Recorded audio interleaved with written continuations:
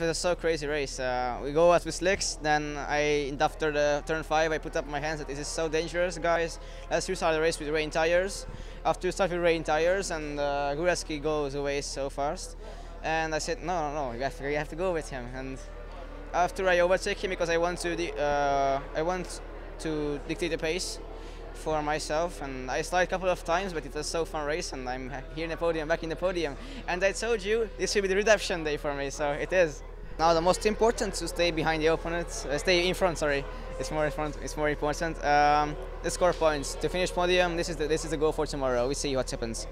When they called wet race uh, I'm a little bit scared but I, to tr I try to push uh, from the beginning in the race and stay first but uh, Soma Görbe overtakes me for some laps and uh, we fight together.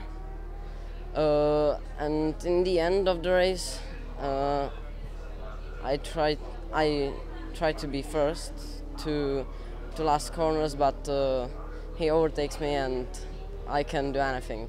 At the beginning from the from the weekend, I didn't feel good with the bike and we changed something on the bike and then in, in the qualifying I also crash and don't feel feel good with the bike. I don't have any confidence.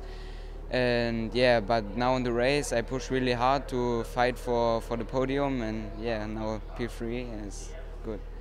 I want to push more and we change a little bit uh, or something on the bike and yeah I want to to go to the first place and yeah let's see